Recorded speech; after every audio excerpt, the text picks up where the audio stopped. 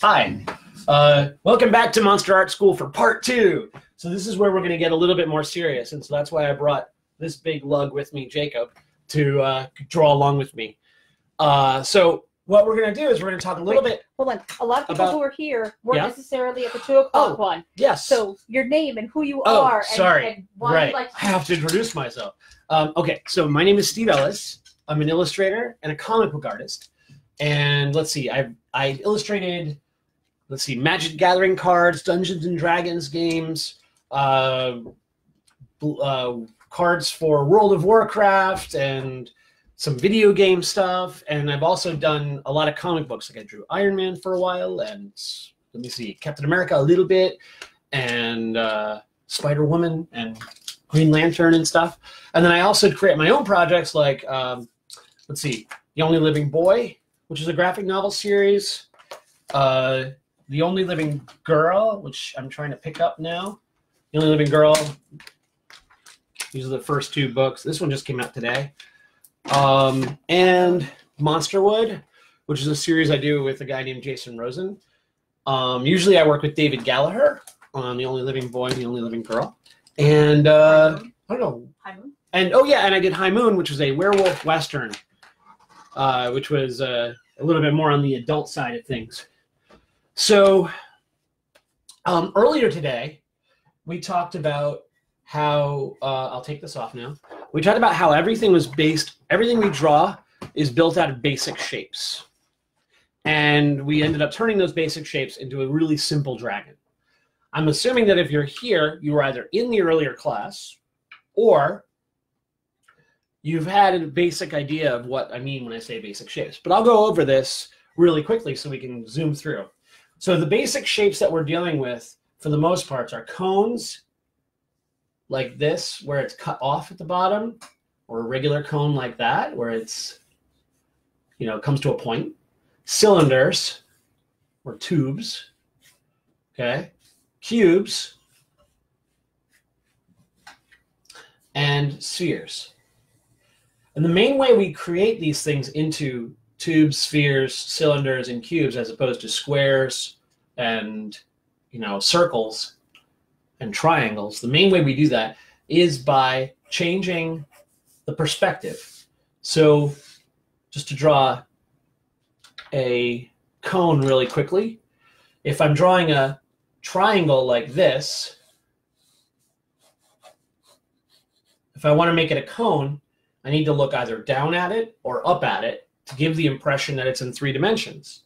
Because otherwise, if it's just two dimensional, we can't look up and down at it. So as we look down at an object, just like if we're looking at this cup from the side, it's this shape. As we look at it like that, we start to see the top, right, as a curve.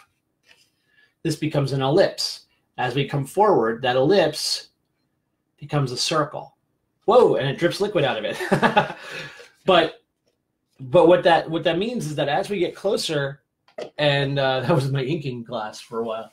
So so the way to, to create three dimensions on an object is instead of having a straight line on the top and bottom we're going to curve it and create an ellipse. So we create an ellipse on one side and the other side has to just curve away from us. So again we create a lip, an ellipse, and then we connect it to kind of half an ellipse, becomes a tube. If we create a triangle, but we curve the bottom of the triangle like so, triangle, curved down, we're now looking down at a cone. A triangle with an ellipse at the bottom, like so, we're now looking up at the cone. And in order to give the impression of moving around the object, I like to think that you're drawing like you're drawing ants around an object. So these are little ants crawling across the surface. And so if everything is moving around the object, if you want to go check and see if people are asking questions, you want your rendering, your shadows, your details to move around the object like so. Always thinking about something coming from behind and then coming forward. So coming from behind, coming around and forward. So with the cone, one way to make to, to kind of build the impression of this being three-dimensional is you can draw those ants going like that. To make this one feel three-dimensional, you can draw the ants going around like that. Hey, you left. Give me a second. Yeah, yeah, yeah. Helpful teenager.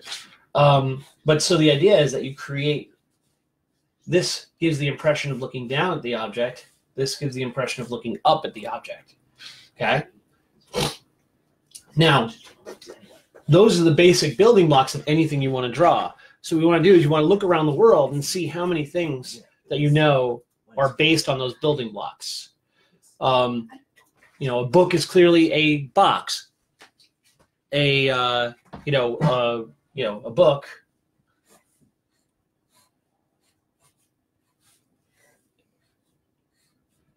Is a box with a curved side.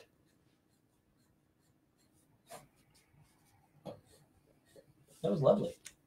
Um, do you want to ask any questions anything? Or are you just going to be quiet sitting there?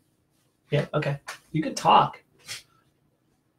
Um, anyway, so what you want to think about is every object that you create is based on these simple shapes, even when it comes to people and animals. Um, are we are we still on? You're on. Okay, uh, just hearing our voices doubling up.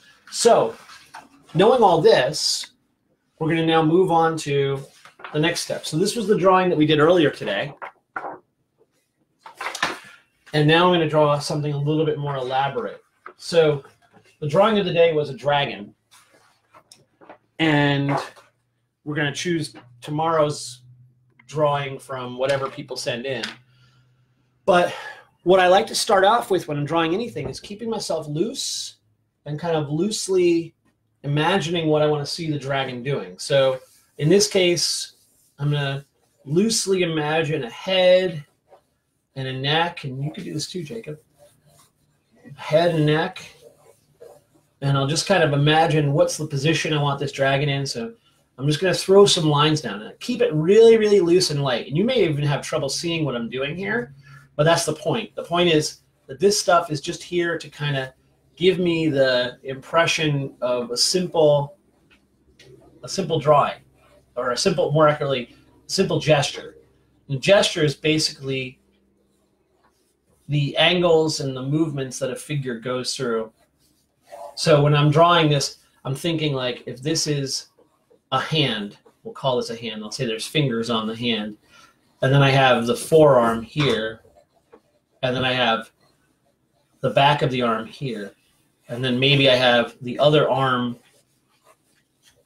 coming up here, and I'm just going to basically scribble in stuff until I have an idea of what I want. Now I think I kind of want to turn the head up. So I'll move the head this way.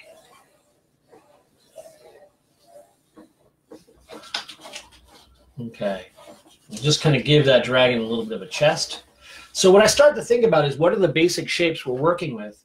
And so for the head, up here, I'm going to start with kind of an orb with maybe a sphere with maybe a cone coming off of it, like so. And then the neck is a tube of cylinders.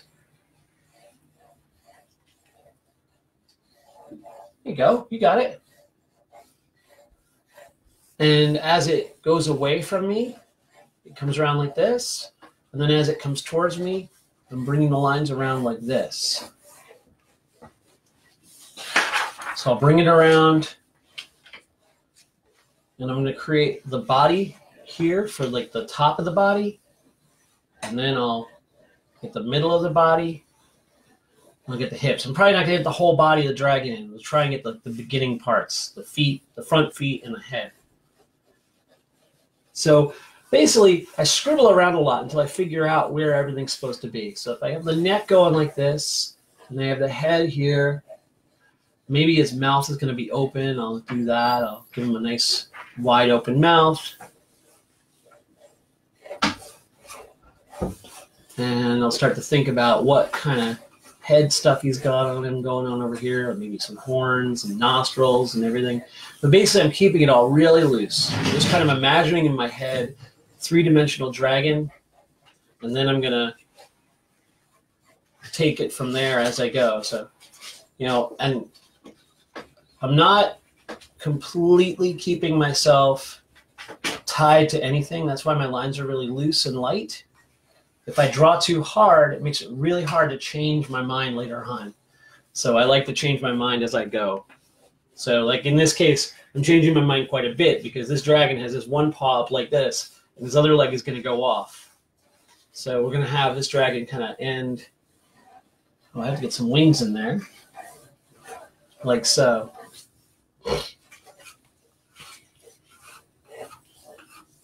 So I'm basically marking in the drawing, drawing very loosely. Now, there you go. Tell me when you feel like you're ready, Jacob. Just going. Okay. So, what I want to remember is I was drawing things. Well, every figure, every creature, everything out in the world is cut in half, meaning we're bisected. So, if there's an eyeball on one side of the face, there's an eyeball on the other side of the face. I'm gonna pull in a little closer. Okay. So that which means more of your face, but also a little um like half your face and more of the drawing. Okay, great. It's a little light to be seen on the screen right now. Cold coffee. Yeah. So, what I want to look for is I want to try and think, imagine in my head where the center of this creature is. So, what I'm going to do is I'm going to start to think about boxing out the creature. So, I'm going to make this the front of his nose or his snout. I'm going to kind of box that in. And then I'm going to kind of decide his brow is there. So, this is a little piece called the keystone that anatomy people or anatomy drawing people call, call it the keystones between the sockets of the eyes. So I'm going to draw a keystone. It's kind of a uh, triangle with the top cut off, upside down. And then I'm going to put in eye sockets. Now, since I'm thinking the dragons are like lizards and lizards are like dinosaurs, I'm going to give him big eye sockets, but he's probably going to have little eyes.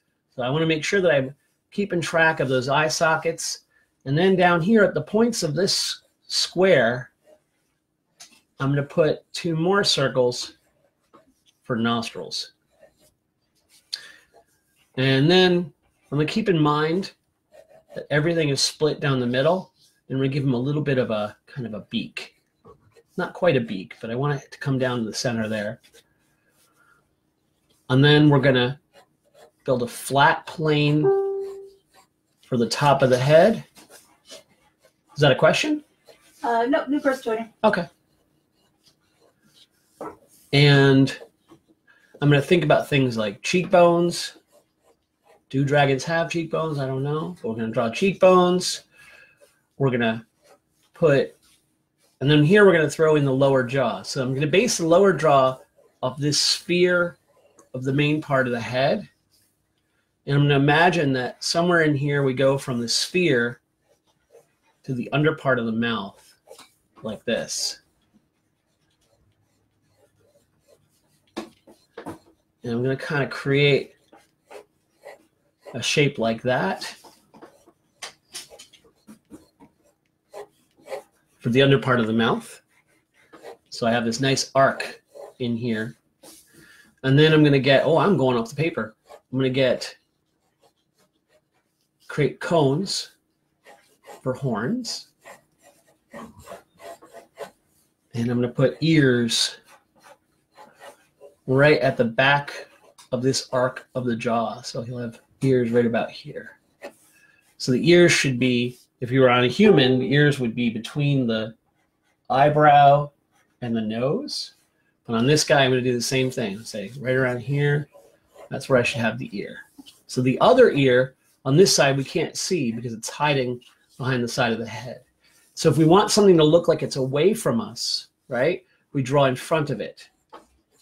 So like this horn, we're going to draw in front of it. We want something to look like it's in front of the other object. So this horn is in front of the sphere here, it's going to come like that. That way, this horn looks like it's pointing in this direction. That horn looks like it's pointing in that direction. Okay? So whenever you think about this, if something is in front of something else, it overlaps it.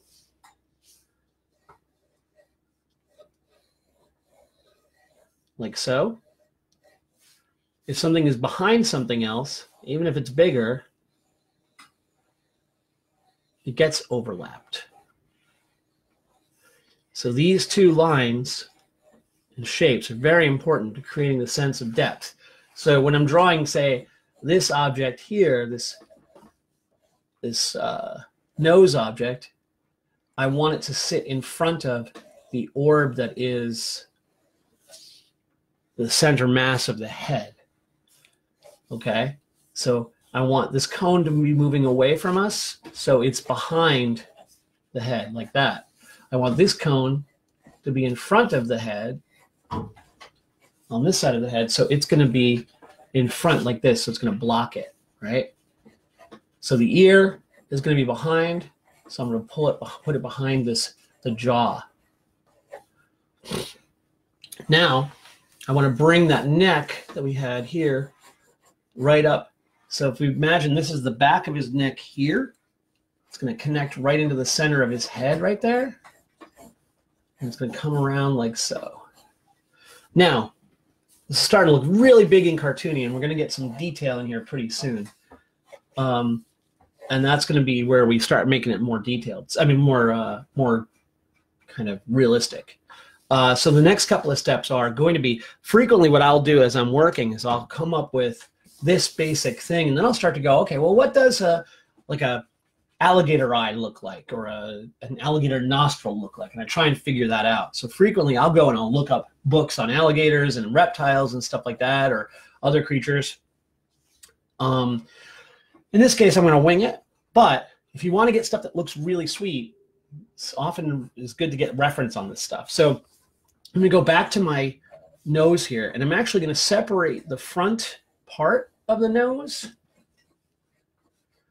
as a rounded object. And then I'm going to make the center part, the bridge of the nose, to a more of a, almost a cube. So we've got a rounded object, a cube, and another big rounded object. And that cube hooks right up into that keystone, and the eye sockets are on either side of that keystone. So you get this very rigid kind of structure here. Now, as we go, can you see that, Mila? Yeah. Okay, great. That's my wife, Mila. oh, So, you know we, we just had like four or five more people join. oh, hi everyone. So so maybe do a quick like reintroduction and catch up.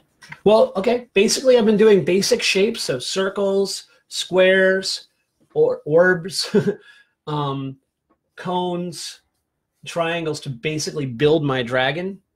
Um, and then I'm going to be putting in details as I go. And I'm starting off with pencil, doing it loosely so that I can very quickly kind of put stuff in. And, and and it doesn't matter if I throw a lot of lines down because I can later on I can erase them and get rid of them as long as I keep it light and loose. Um, is that enough of a recap? Mhm. Okay, good. So I'm going to draw around the neck, create a segment separating his underbelly from his the top. So you imagine up here he's got his big armor that protects him up here, and then underneath is his soft underbelly, or his mithril, uh, where his mithril, mithril uh, what do you call it? Arrow, plates aren't quite as uh, close together. I'm thinking about um, Smaug from Lord of the Rings. So I'm creating an arc here. Basically, that's just like kind of a C shape to an S shape. So you can see the S around like this. And that S will take me from the far side of that neck over his shoulder, down into his elbow, and up into his arm here. And so since since dragons are very slithery, I like to keep things, you know, smooth and slithery and slidey like S's. So I tend to use a lot of them when I'm drawing a dragon. So now I'm going to get back to just like I drew a circle for the head, I draw a circle for the upper torso of the body. So what I want to do is I want to separate that into two sections as well, just like I did here. So we have a center. And that way we have the center of the neck as well. So the neck isn't so much a tube as an object that's kind of built like this. In here, we're going to have scales coming down the middle, and around here, we're going to have scales going that way.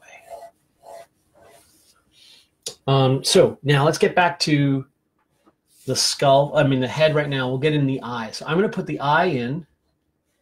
And like I said, I want the eye to be small in a really big socket. So I'm going to kind of give it, this is how it looks more. If I had really big eyes, you'd be like, oh, that looks really cartoony. But little tiny eyes somehow makes it look more naturalistic. So if I give it little tiny eyes, and the way eyes are done is eyes are an orb with a flap of skin wrapped over and another flap of skin under. And the under one folds under the over one. So you end up with like this kind of a shape. So when I'm drawing the eyes, I want to consider that the eyelid on top hangs over the orb and the lid on the bottom curves under the orb. Okay? So same. That's based basically on human beings. And then I'm going to consider the fact that the inside in here, right here, is the inside of the socket. So I'm going to shade in there. And I'm to draw some serious like wrinkles and stuff in here to kind of make it feel more dragony. And then basically the way to, to think about when I'm drawing a dragon for like a big scary dragon monster, what I like to do is I like to think about what how many angles I can put on it. So if I have a brow shape here in a brow shape there, I'm going to throw some angled kind of Right now, the eye looks kind of sleepy, so I'm not really liking it yet. Angled kind of comb, uh, what do you call it? Scale things there. I'm gonna bring his, I'm gonna bring his cheekbone out here. They imagine just like a human being or an animal. They have a there's a cheekbone into the skull under there. So I'm gonna bring that around there and get rid of that eye because it's driving me nuts. There we go. And then I'm to start building down some stuff down here. And I'm thinking much more harsh and angular this time. So I'm going to cut a lot of these circles out, soften them. But I'm still trying to maintain the idea that they're still based on that circular three-dimensional object. So I'm going to carve out the eye socket on this side curve it in so that I end up with the cheekbone kind of coming out. And then I can create that growly sense here by imagining like if you do this with your nose, you create a line down the middle and all these things come around, kind of emanate from the nostrils. So if I imagine his nostrils are here and I flared out, they're going to create repercussions all the way up the face. Now, some people draw dragons that are very like, uh, what do you call it, hard edged and sharp looking. I like to draw dragons that are almost have a human sense to them, because very often in stories, dragons are are personified as as uh, as characters as opposed to just monsters. So I like to think of them as they, they've got personalities. So like a Smaug or a I don't even know what other dragon puff. No, um, another dragon.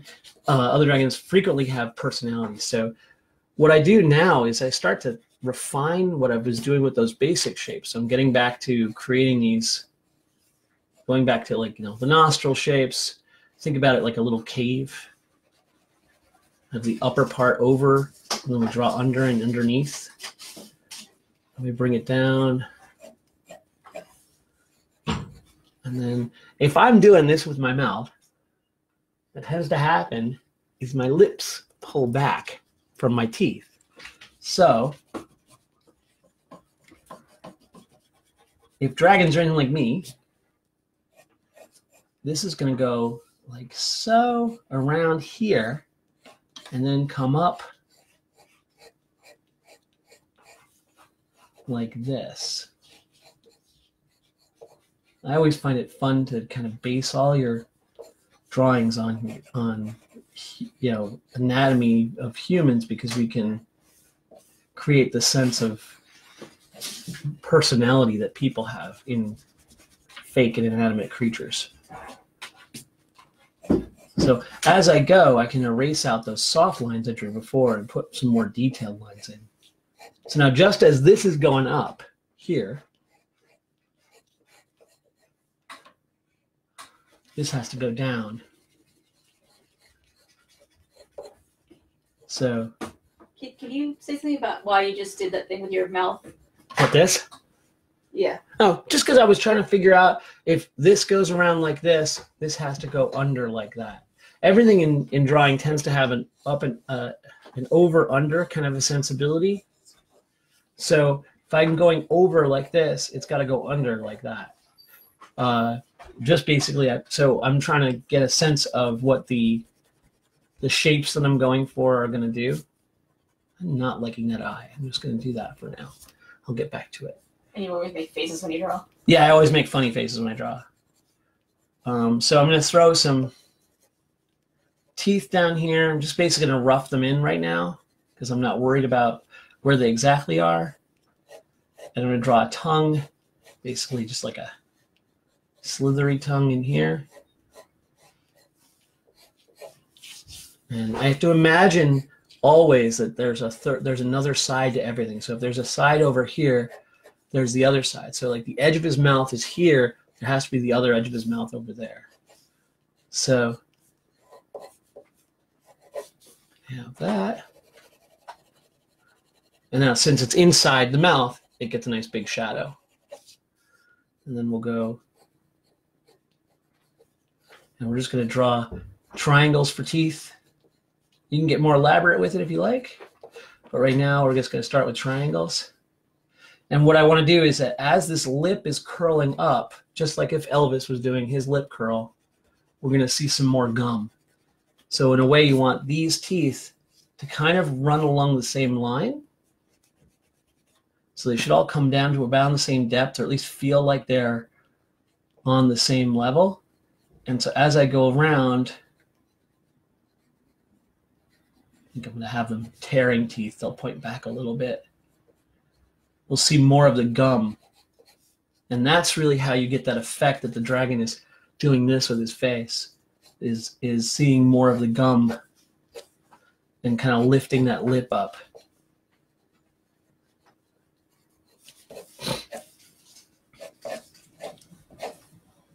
And then down here, we're going to do the same in reverse. We're going to lip, pull the lip down so that we can see the gum down here.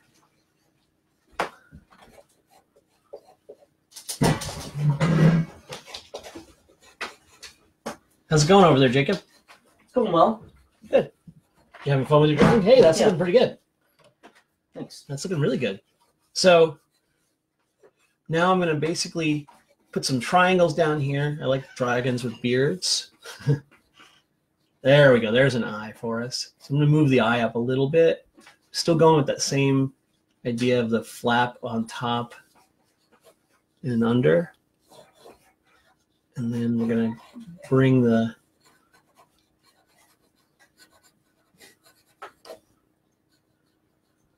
eye in. There we go. And I want to do draw the inside of the socket. And inside the socket, right in here, it tends to get pretty dark. So I'm going to allow that to get dark. And then eventually, at some point in this drawing, I'm going to start considering where the light is coming from. And that's really going to start changing the drawing too.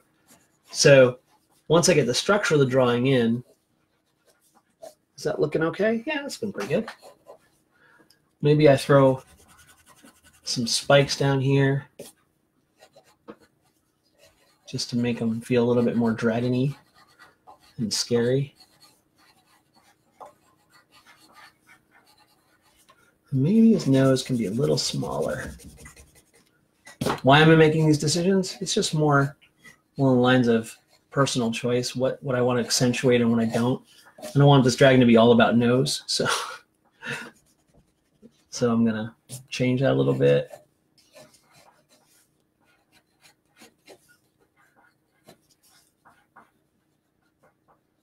And so over here, basically I created an idea where this is the inside of the socket, and we have the upper lid of the eye, the eyeball, and then the lower lid of the eye down here, just to create the look of us seeing it from the side. So now, let's see. As we go, I'm going to start to put form to these horns a little bit.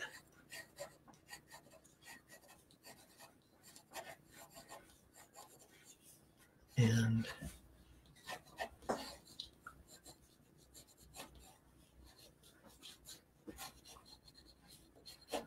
now I'm going to start thinking about what, how I'm going to decorate this guy. So,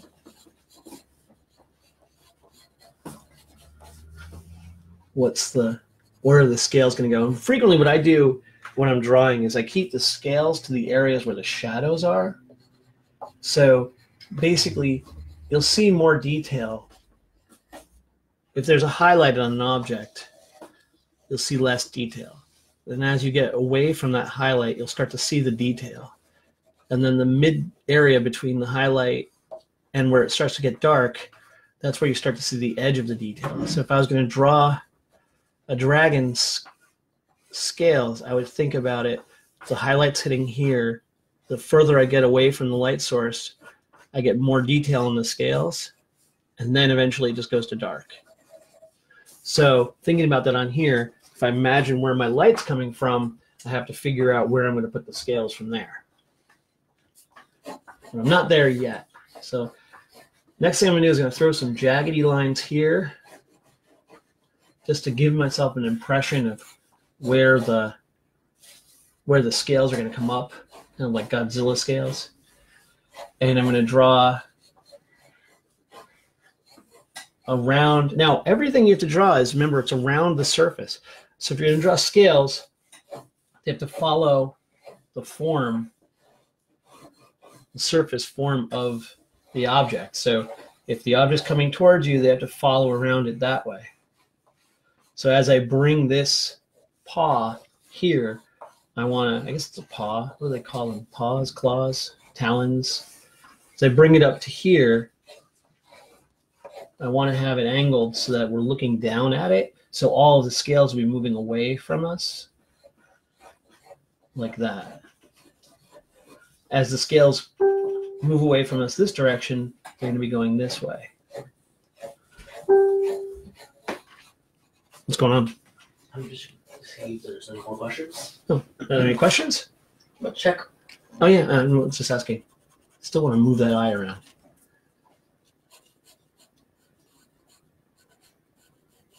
There we go. That's better. No questions? Nope. Okay. Again, if you have any questions, just ask, guys. I'm here to answer anything if I can. I cannot answer how long the coronavirus will be out there, but I can answer how I draw a dragon.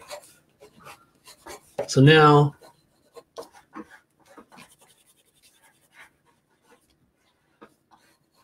I'm going to bring some character in here. So what that is is I'm creating this curve here for the eyebrows to make it look really angry.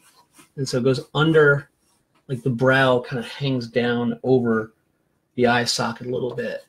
So we're going to create this nice deep shadow in there and kind of I don't know why my dragon's angry because he's just a dragon. Maybe he's just mad about something. I don't know. I think his tongue should be maybe a little spindlier, maybe curl up, come to a point. So I'll get the tongue to go that, do that. And I'll put some shadow inside the mouth, around the tongue. And then I have to decide, well, let's see.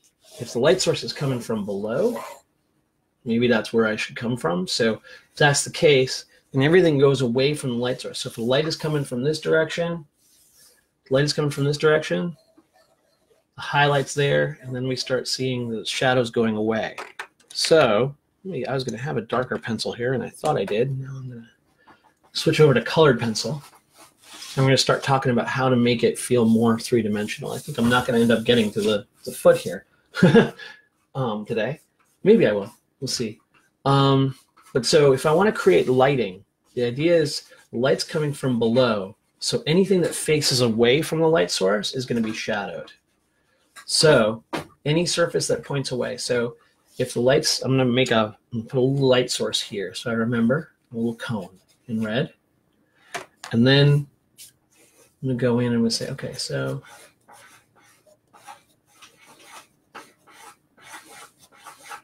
And I always have to keep in mind that I'm still moving around the objects. I don't just flatten things out.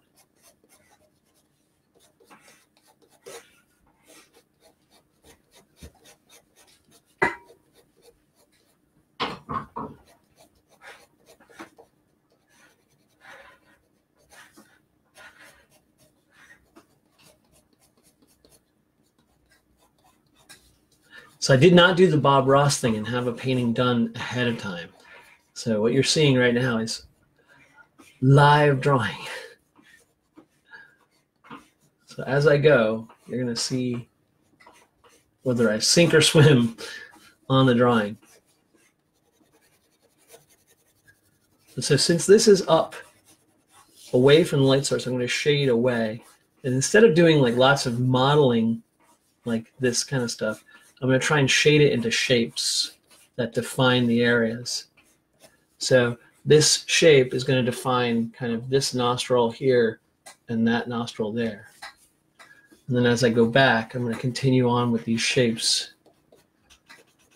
just hinting at the idea that there's light catching on the shape, but actually that this flat plane here is away from the light. So all of this probably should go to black.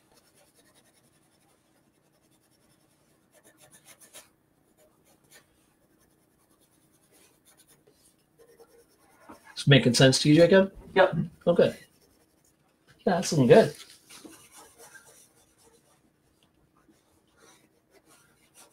You got some skills, kid.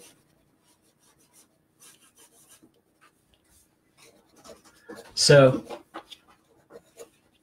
as I move away from that light source, I keep shading away from it. I'm always thinking that the shadows are pointing toward the light source in a way. In a way, the, the rendering will point at the light source.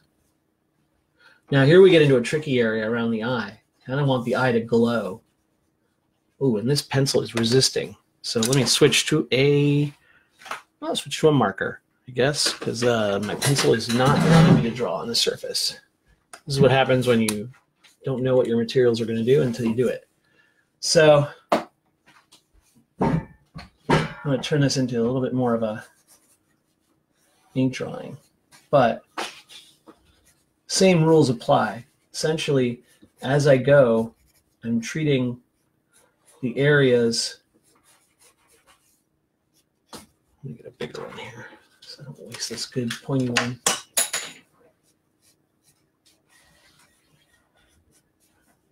So basically, I'm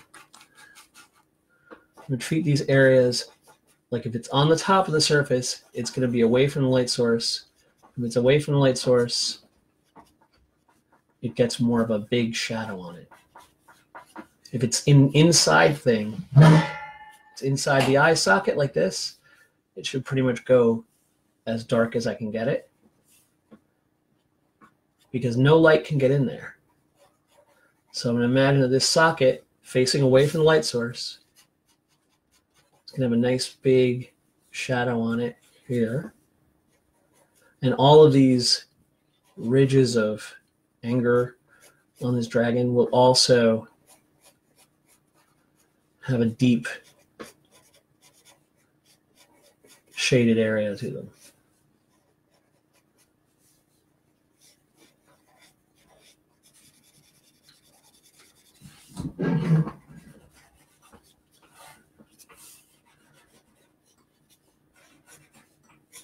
So like up here on the eye, the upper, the inside of the eyebrow will have light. So in here it'll be lit, but up here it'll be in shadow. Whereas a normal light source, when we normally have light, which is above, all of this would be, all of this stuff on the top would be in light. Since we're going with a, a, a below shadow, or I mean light from a light source from below, we're going to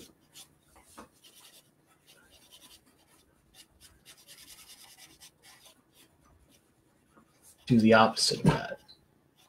So I'm always thinking about those basic shapes and how I'm drawing around them and keeping myself honest by making sure that anything, any plane that faces the light source is going to have light on it.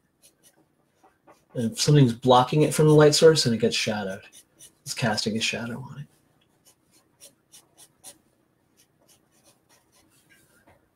Even when it comes to the teeth down here.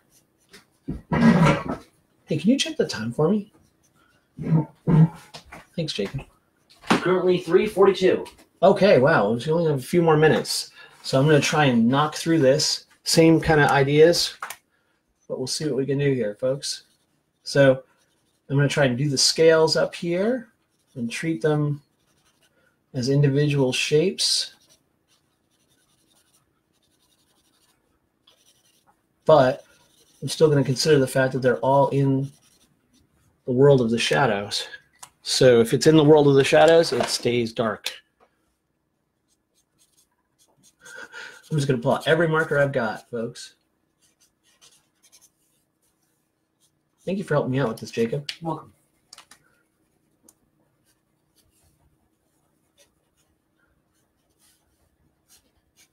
If I'm not as anim- animated this time, it's because the first time I can be a little bit more silly. I'm less worried about making it an impressive drawing. This time I'm a little bit more concerned about that, if only because you guys are older and I think you're going to want more information than the younger group.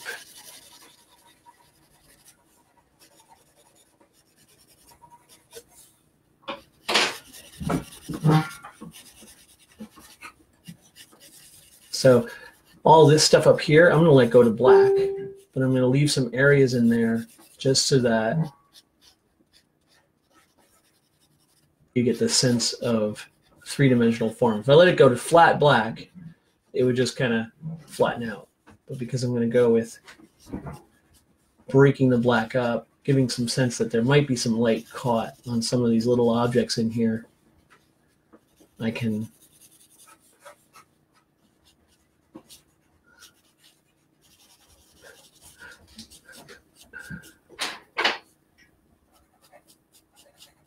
I think next time I have to look at my timing a little bit better, huh? Well, this is the first time we're doing it, and it's a good experiment.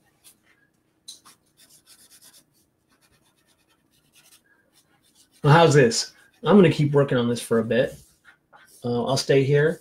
If you guys want to sit and watch me draw it, you can. If you want to go do something else, you can. If you have any more questions, please ask. My my son is now free to do whatever the heck he wants. But let's see what he did. Can we see your drawing? Yeah, that's been pretty darn good, Jacob. It's pretty good. Looks like we drew the same thing. that's awesome, Jacob. Thank you. So don't shut that off. So, um, someone asked you Oh, okay. what type of paper or board are you drawing on? Well, this right here is, believe it or not, I got a, a big box from someone of uh, of inkjet paper that doesn't work with any printer that I've used. So I'm using that, which is not greatest drawing paper, which is why I was having that resistance with the pencil.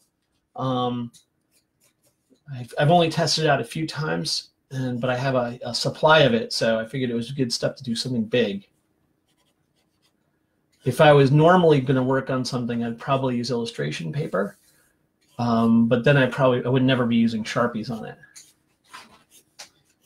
And then there is another question that is asking you, are you going to do, are you going to paint later on? Uh, I could. Um, that'll be a lot longer process than just an hour. Uh, but I could, we could talk about, I mean, I'm open to suggestions. Um, maybe we do it like, you know, I just work on the same piece an hour a day and we can move forward from there. And we'll just, you know, I won't touch it. Well, it's going to be really hard. I'm, I, I would want to draw on it all day. So once I started painting, it's addictive. I can't, I can't stop. So the, uh, I could, I could try it. Anybody else have any questions? Well, I'm totally open to suggestions and and ideas because this is, like I said, my first time ever doing this. I do lectures at schools um, and, and universities, and I've done some demos at conventions, but I've never done this on a video podcast. So I'm not sure how this works or looks or whatever. So if you have any opinions on that and you have any thoughts on how how I can improve it, I'm totally open because I'm doing this doing this for fun, but I'm also doing this to figure out how I've, I've always kind of dreamed a little bit of of being a little bit like Bob Ross. So, um, but I'd like to be a maybe the Bob Ross of monsters. So, uh, you know, any anything I can do to improve or to help your experience and teach you guys is uh, is great for me because, um, like I said, I, I I love to teach. It's one of my favorite things in the world to do other than just make art. So, uh, you know, anything you, any, any information you have will really help. So I'm just going to keep drawing. No.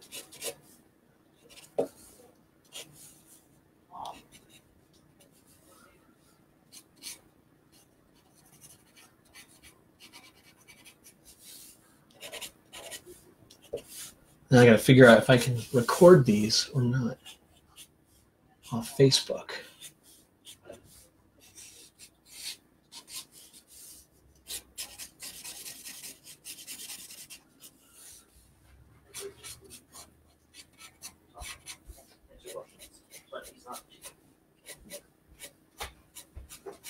Hi.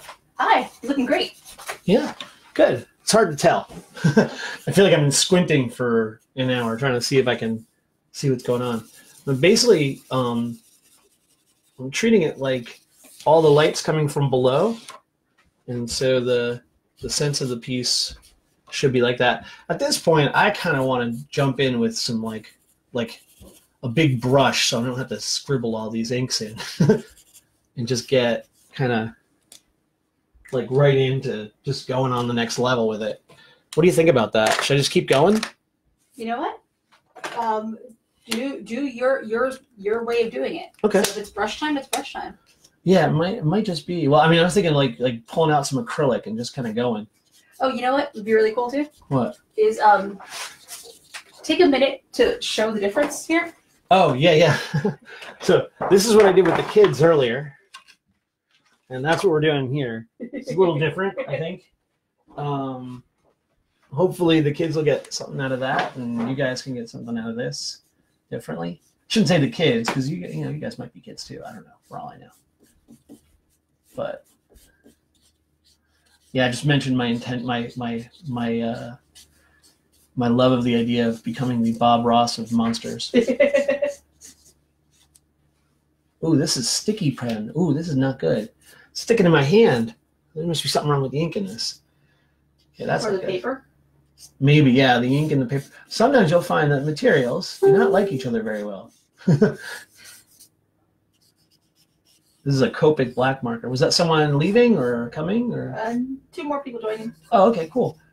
So just to give you guys an idea, I'm I'm kind of at the end of things, but I'm going to keep going for a while because I'm enjoying this. And uh, so if you have any questions, you're more than welcome to ask. If anyone has any questions. Right now, I'm just kind of taking my pencil drawing and kind of hopping into ink because is the first time I've used this paper to really draw on, and the paper was resisting my pencil. So I had to kind of switch gears and make something out of nothing there.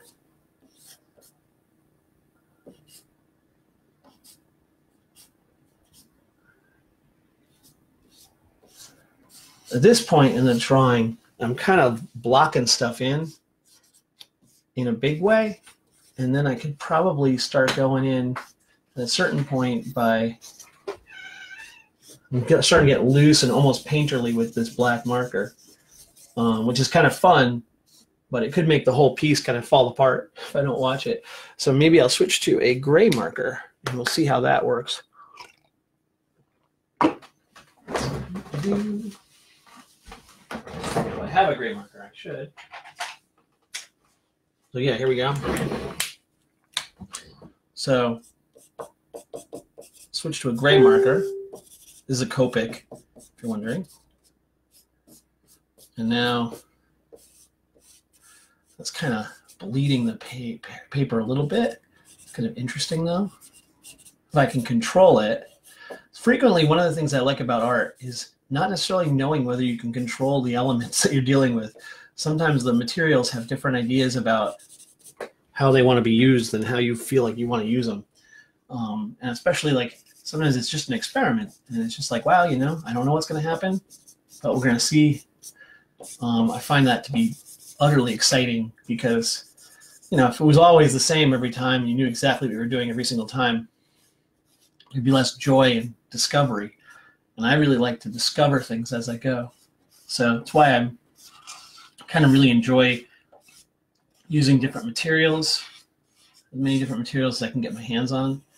And I enjoy doing, uh, enjoy teaching because I always learn something when I teach. So that's kind of a neat little experiment there. Because while this brush, this marker is kind of dull and, and getting a point, I'm kind of getting a cool grayness out of this that I didn't expect. And so maybe when I go through, I can start to imagine painting in here a little bit more. Delineating out these teeth a little, separating things out a little bit more. Whoops. So what I can do here is it's going to look like a mess for a bit. There's always a point I feel like in every piece of art that I do where I'm like, oh God, I ruined it. And I'm always like, well, what am I going to do now? And then I have to save it. So right now, it kind of looks like a mess. This is one of those things that that uh,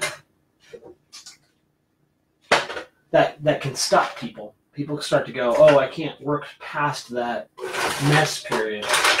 So, but if you can get past that mess period and find a material that's going to do what you want it to do, you can start to get around these problems. Let's see if I can get around this problem. Sometimes you can't.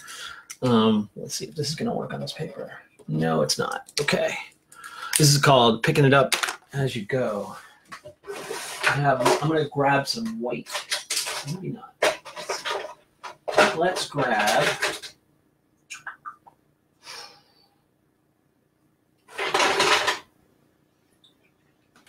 This. Well, that's purple. That's not the color I want it to be. Sorry, I'm going to be off screen for just a sec, looking for another material to kind of recover here. Doo-doo-doo. We should have, I need some, uh, what do you call it, music? I don't want brown. I just want gray.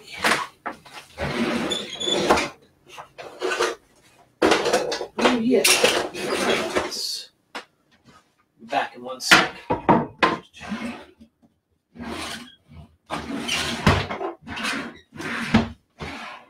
This is the sound of me going through all my drawers looking for a marker. A particular marker. Here we go.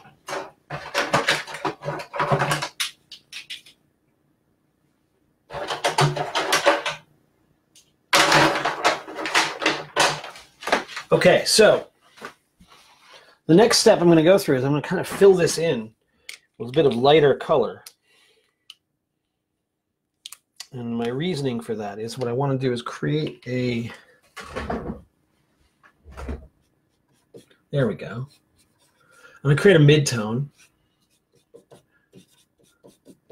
in my black areas or in, in the in between areas between the blacks and the whites. And by doing that, I can kind of pull together the piece a little bit more. Like I can start to do things like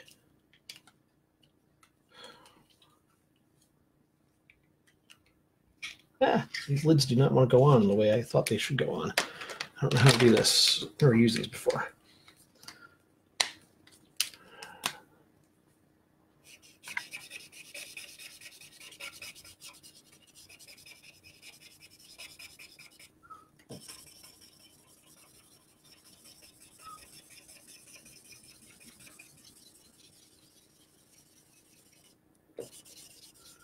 So by putting this gray in, I'm separating the values between light and dark. Or I'm more actually, I'm getting rid of the, I'm getting rid of the white. That's really the important part. The more I can get rid of the white, the more I can use the white as a highlight.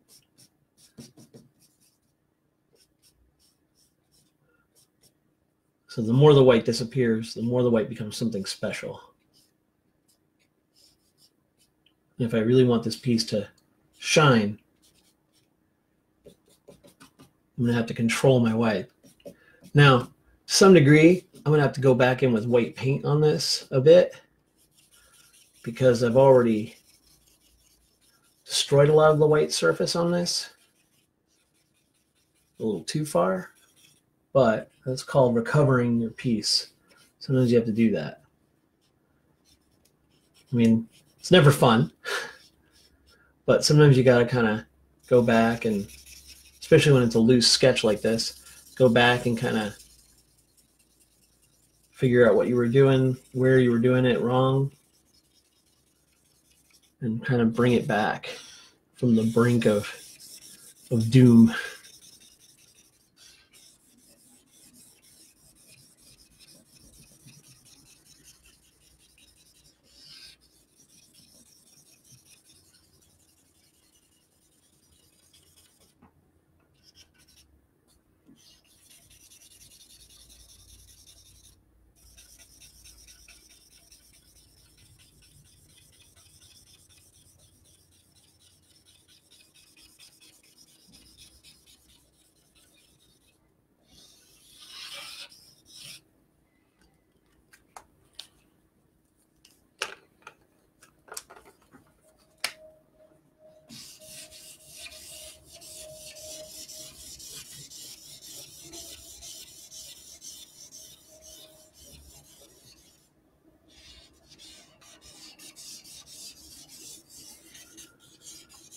Well,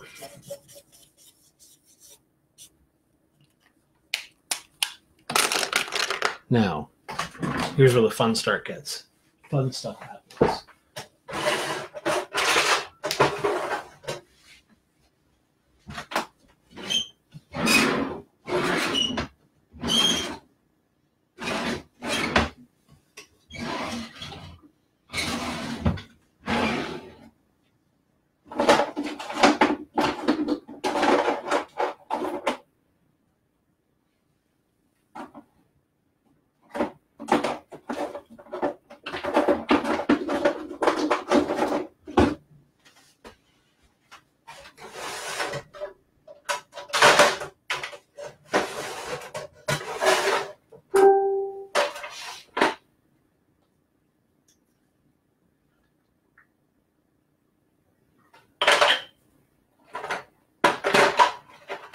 Where is my white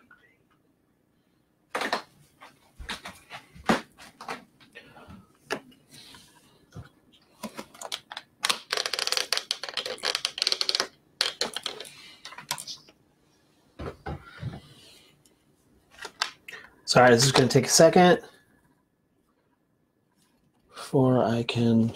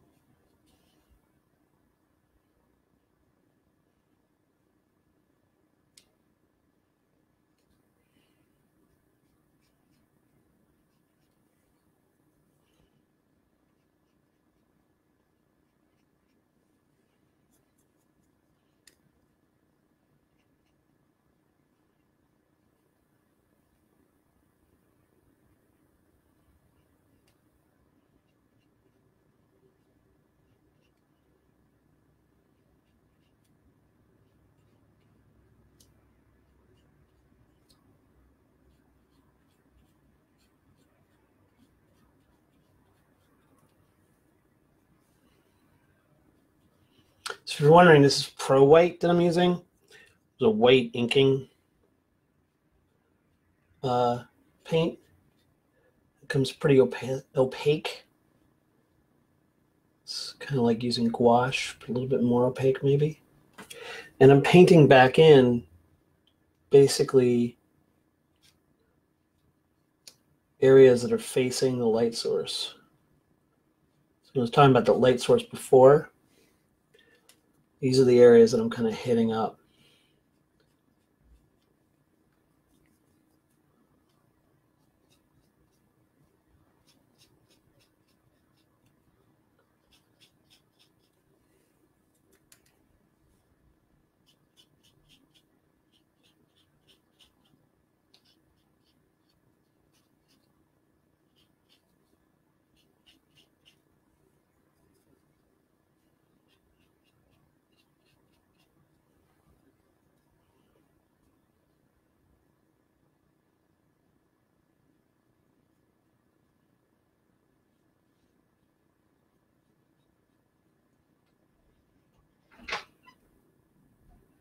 Hello? No, it's just wind.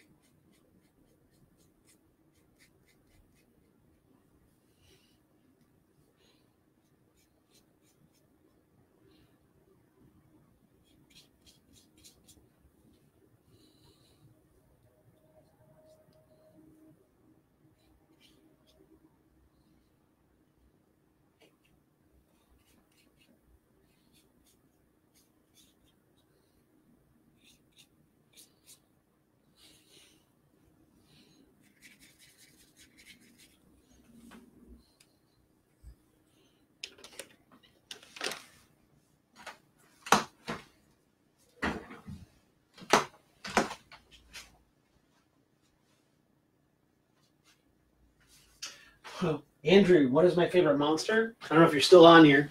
Uh, I don't know. Uh, probably right now. Um,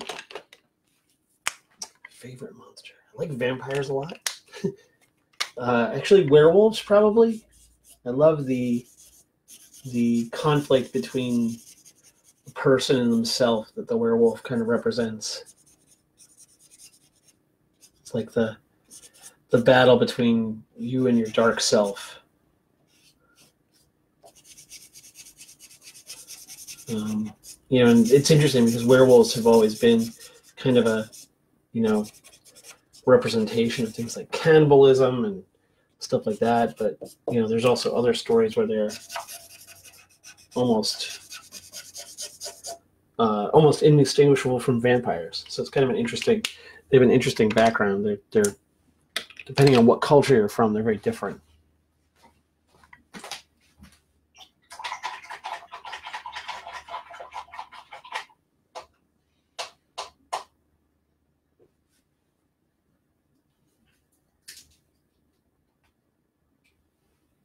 Okay, I think I'm about to wrap up, guys. So, going in with some black paint to kind of finish this off.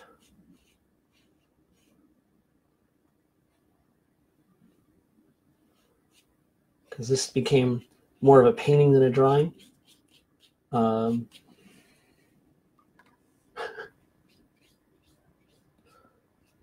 and what I can do with the blacks now is I'm gonna bring more clarity to the piece.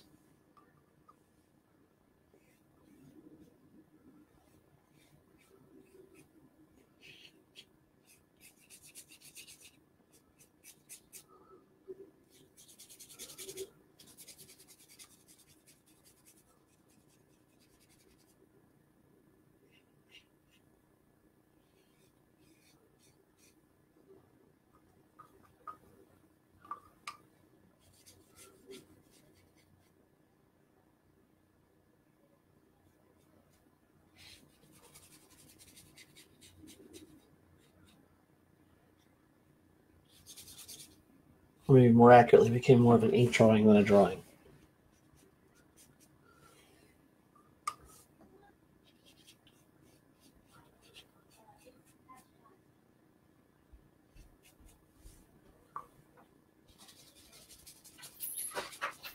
It's time to go? Uh, pretty soon. We have a, a workout starting in a little bit. Okay. No, I mean, it's time to go, right? Yeah.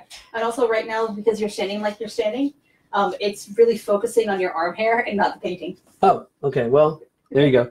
So that's as good as I can get in this session. Um, I guess I can give it a better view from over here.